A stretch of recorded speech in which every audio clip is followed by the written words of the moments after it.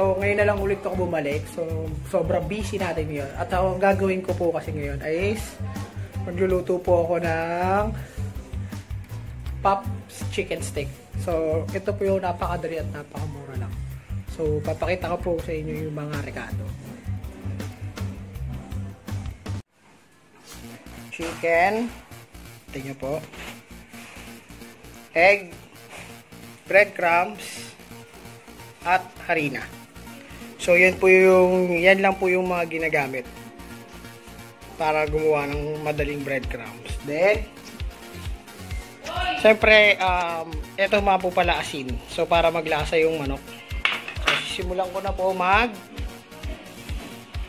magluto.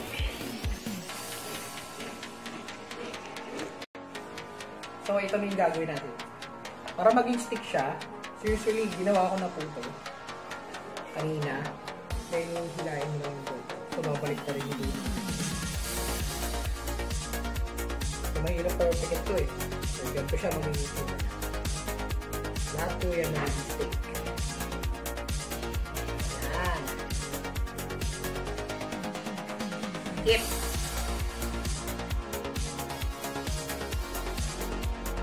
So, okay na po pala yan.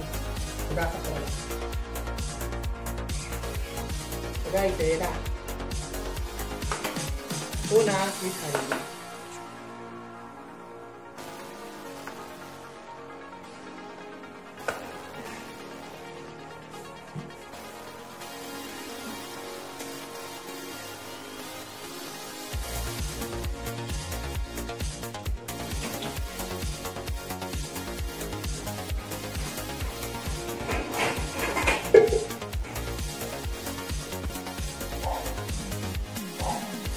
habang nagaganto ako, pinapainit ko na yung mantika.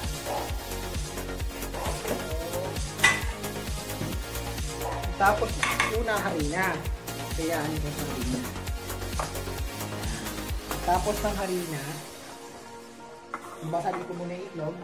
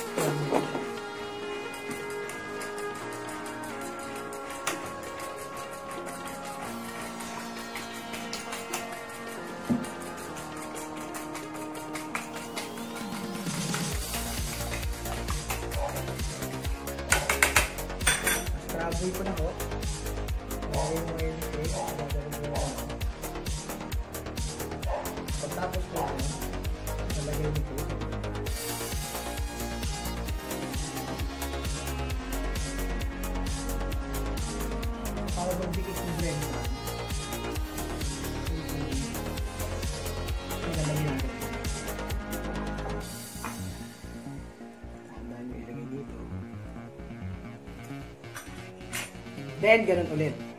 So, usually, nilalagyan ko siya ng asin.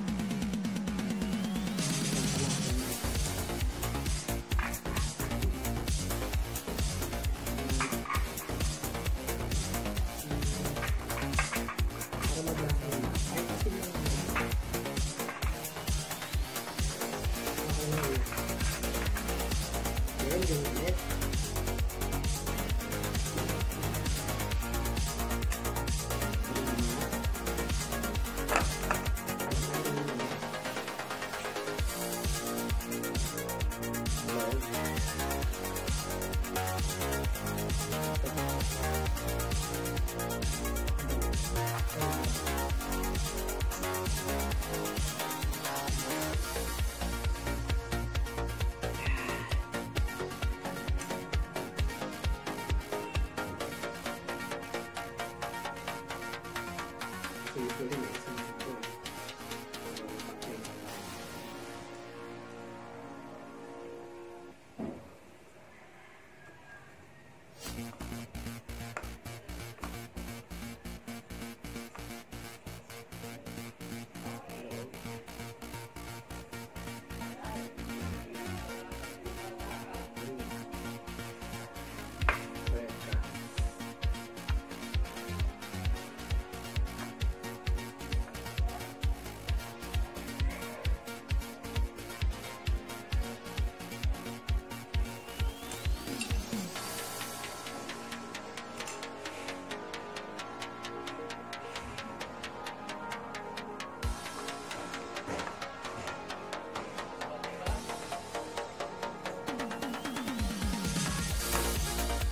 ginagawa ko. Diba pa rin,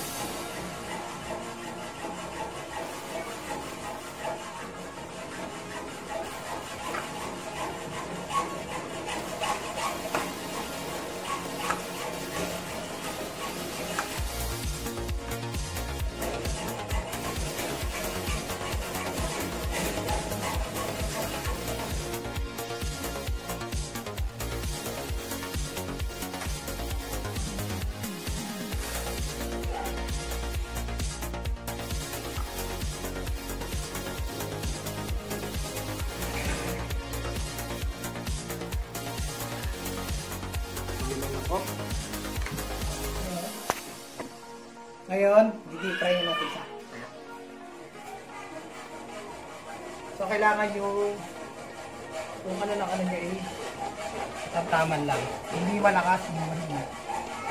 Mainit na siya.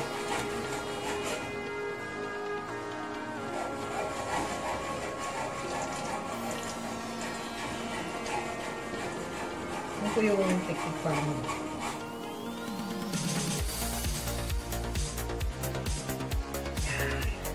Tignan nyo po.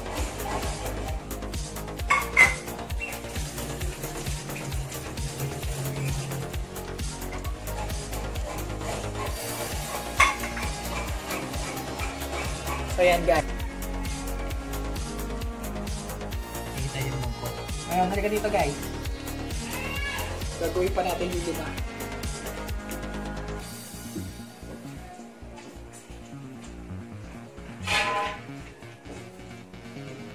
Gagawin pa natin itong lima.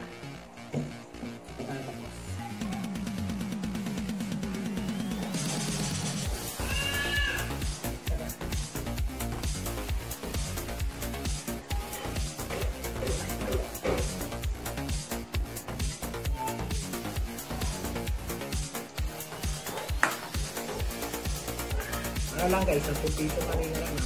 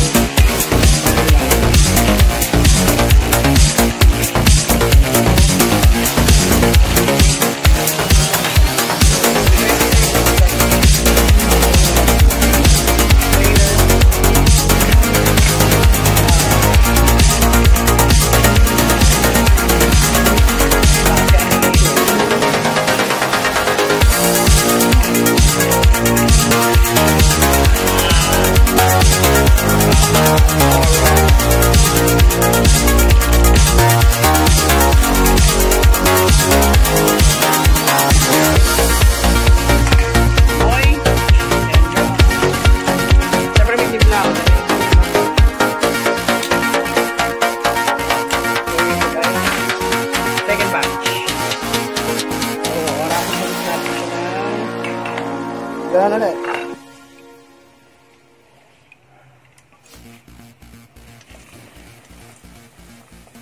Ten minutes. Sa normal warm lang. Hindi siya ganun kainit. Number fire. Yan. Ayan ho. Ang init. ang init ho.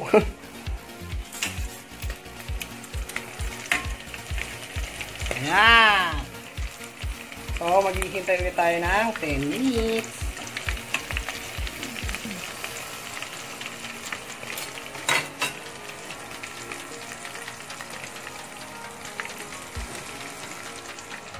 Then, ito yung finished product. Mm, sarap yan. Yan guys. So, chicken drumstick.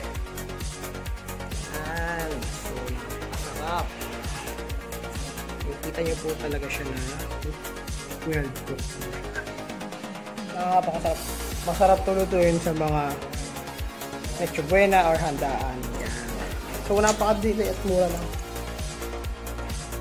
Salamat guys! So, yun guys. So, tapos na natin. Ito na yung finished product. So, titikman ko na siya at kakainin. Thank you nga po pala sa mga sumusuporta sa video. Until next video ulit guys. Peace out.